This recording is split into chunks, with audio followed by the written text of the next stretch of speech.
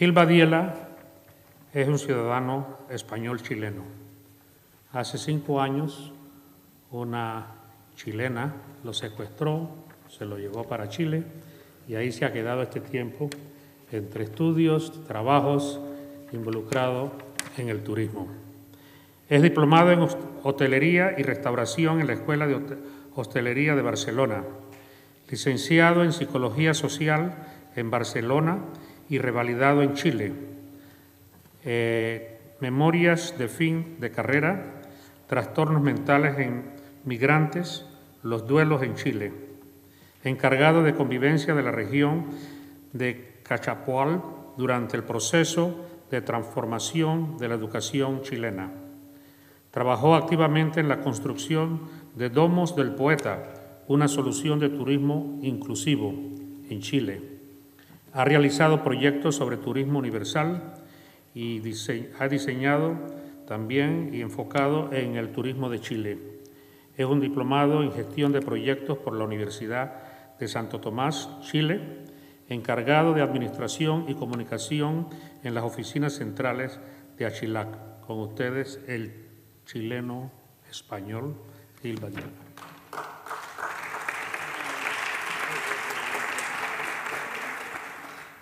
primero voy a ver si puedo lograr que se vea el... ¿Dónde está? Ah, el mouse estará por ahí.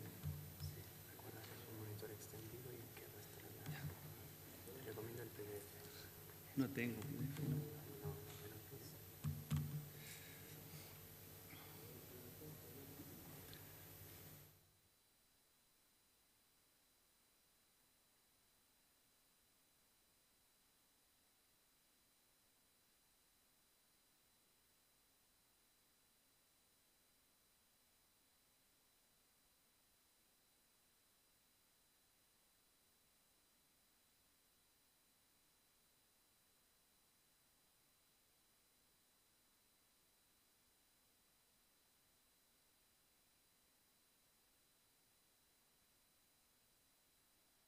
Nueva gobernanza turística y cooperación público-privada.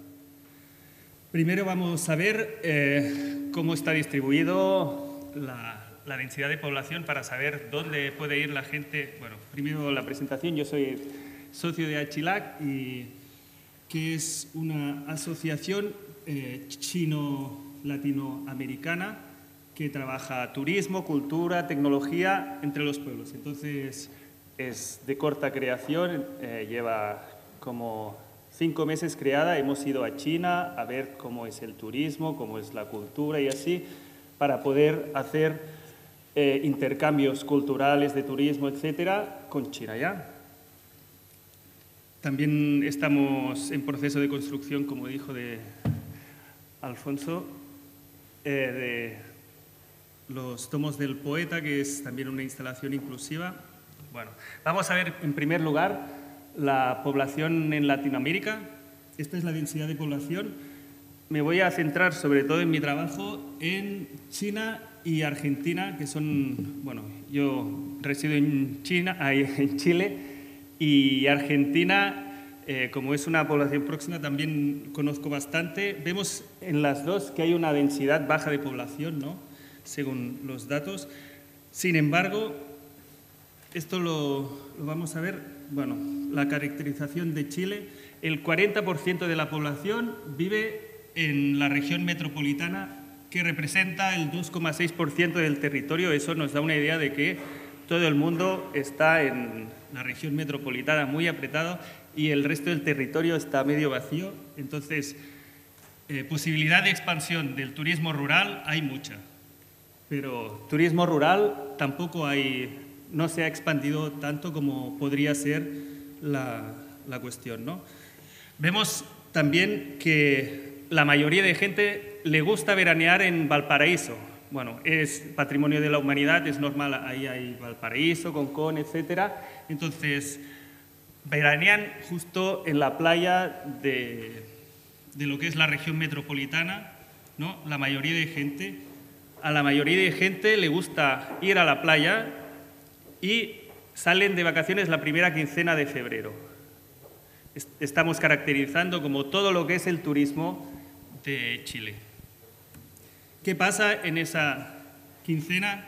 Pues que hay el 100% de ocupación de turismo, ¿no? Igual como pasaría en España, que en agosto o en, en julio se llenan las playas y así. Lo mismo pasa ahí. Pero como, bueno, igual pasa en las diferentes capitales de América Latina, que son muy grandes, eh, la gente se aglutina mucho en las grandes capitales. En España creo que la cosa como que está más extendida, la población no, no se concentra tanto en las capitales, o hay más capitales eh, bueno, vemos, por ejemplo, Ciudad de México, 25 millones. Chile ya lo vimos, que también hay casi todo el mundo en la capital. Entonces, vamos a hablar del turismo. El turismo es un territorio, ¿ya? Hay un, territorio. En el territorio hay unas personas que están allá, que viven en el territorio, y Aparte que hay, aparte de territorio y personas, también hay la industria turística, ¿no? Que está ahí. ¿Qué pasa cuando es el turismo clásico? ¿Qué hace el turismo clásico? Hay la industria turística por un lado, el territorio y los habitantes. ¿Qué pasa cuando hay en el turismo clásico? Lo más importante sería, a ver, bueno, no, no aparece, pero tendría que ensalzarse aquí. La industria turística tendría que hacerse grande. Es lo que predomina en el turismo clásico. ¿ya? En cambio, en el turismo sustentable es todo igual. ¿ya? No hay ninguna de las partes que sobresalga.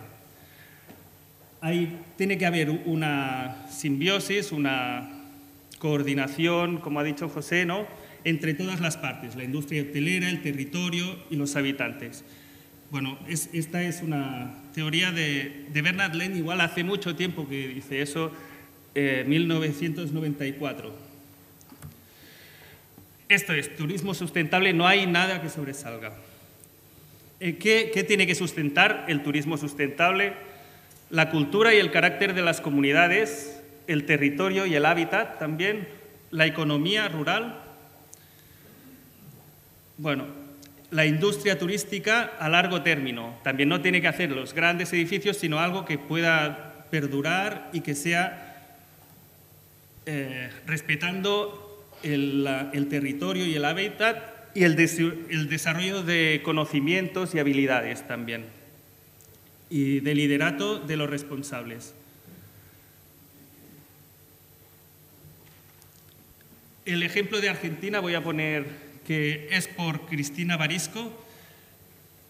Eh, bueno, elementos que deben favorecer el turismo rural en Argentina.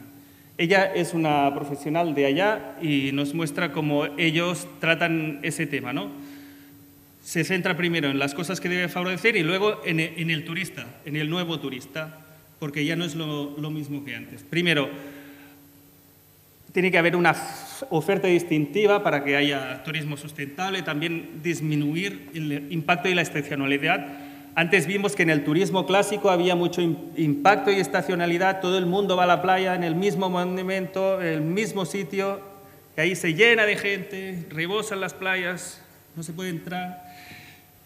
Y eso es lo que tiene que favorecer este tipo de turismo, más sostenibilidad complemento a la producción de establecimientos agropecuarios, que significa, por ejemplo, que el turista vaya a ver eh, el medio rural, ayude, aprenda. ¿no? Por ejemplo, antes hablábamos eh, con Miguel de, por ejemplo, el café, de que el turista puede ir a ver cómo se fabrica café, a ver cómo se fabrica chocolate, etcétera, cómo se fabrica alcohol también.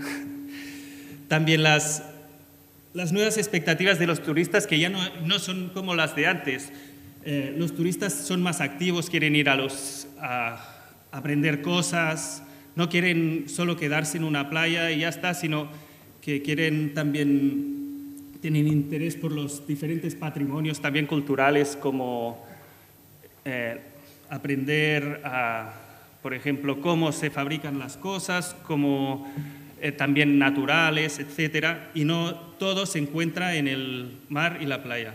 Uy, bueno, ya. Eh, me río porque como que viene descuadrada la, presentación. Comparación entre el turismo comercial y el tradicional. Esta es de Chile. Ya. Eh, está el turismo comercial, que sería como el clásico, y el turismo rural, que sería más sustentable. ¿no? El comercial, bueno, clásico, sustentable. Uno sería estandarizado, como lo que hace todo el mundo, y el otro irrepetible, único, original.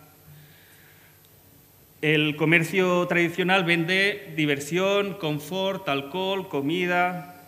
¿no? Ya hemos ido eh, como un gran spa, nos imaginamos.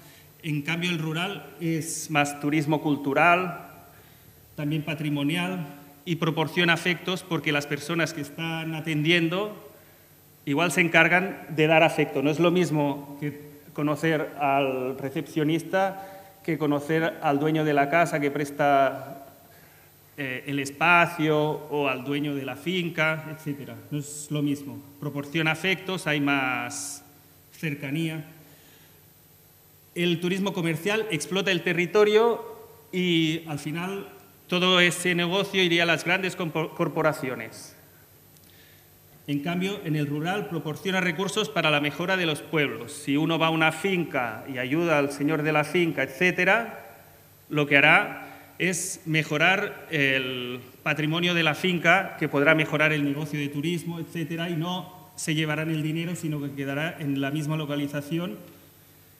Y es ejercido por los protagonistas. Por ejemplo, no, no puede cualquiera ejercer eso de Pongamos el ejemplo del chocolate, por ejemplo, no puede cualquier persona enseñar a hacer chocolate, sino que tiene que ser una persona que sea de allí y sepa para qué sirve cada elemento y pueda enseñar. Eso es también eh, patrimonio cultural. ¿no? El turismo comercial no hace raíz porque puede estar en cualquier lado eh, y es igual el turismo comercial de acá, que a lo mejor que de otros lados, que de Grecia, etc. En cambio, el turismo rural sustenta la vida, la cultura, el medio ambiente, ¿no? Ya hemos dicho. Se crea a lo largo de la historia. Tú no puedes llegar a, a un sitio y crear turismo cultural, sino que hay gente que tiene la cultura del sitio y es los que crearán el turismo cultural. Por ejemplo, bueno, ya se lo imaginan, lo del chocolate, una persona que no sepa hacer no, no puede ir allí y montar una gran empresa, sino que tiene que ser una persona del sitio que enseñe. Recupera el patrimonio inmaterial también, porque enseña a la gente, puede producir eh, transferencia cultural, enseñar a otros. Ya queda poco tiempo. Ahora voy a hablar de gobernanza que es una palabra que viene en el título, nueva gobernanza. ¿A qué se refiere nueva gobernanza? Viene de los años 70 y se refiere a, privado, al sector privado, público y actores sociales que tienen que llegar a un, consenso en común para eh, manejar el logro de decisiones turísticas, ¿no? Ponerse en común, eso es la nueva gobernanza que se quiere. ¿Por qué hacer nueva gobernanza? ¿Por qué llegar a acuerdos entre lo público, lo privado y los actores sociales? Porque hay masificación en las zonas turísticas, como ya hemos visto, no es patrimonio europeo, sino que allí también puede haber masificación en las zonas turísticas, aunque haya mucho espacio, existe. Hay la necesidad de proteger la cultura y el patrimonio, el medioambiental, tradicional, también es un tratamiento para el estrés. La gente que vive en ciudades experimenta estrés y tiene que salir al campo. Entonces es bueno eh, potenciar para que haya más afectos y sea un factor para eliminar el estrés, el turismo sustentable, rural. También hay una necesidad de mejora de las condiciones de vida en todo el territorio, y para satisfacer los nuevos tipos de turismo que hemos visto antes, que son más activos, quieren conocer, no quieren solo sol y playa, sino que a lo mejor ahí hay algunos que se aburren y, tienen ganas de recorrer mundo, conocer más cosas, etc. Con todo eso sería necesario una nueva gobernanza que tenga más miradas y que tenga en cuenta lo privado, los actores y lo público. Ya. Bueno, muchas gracias.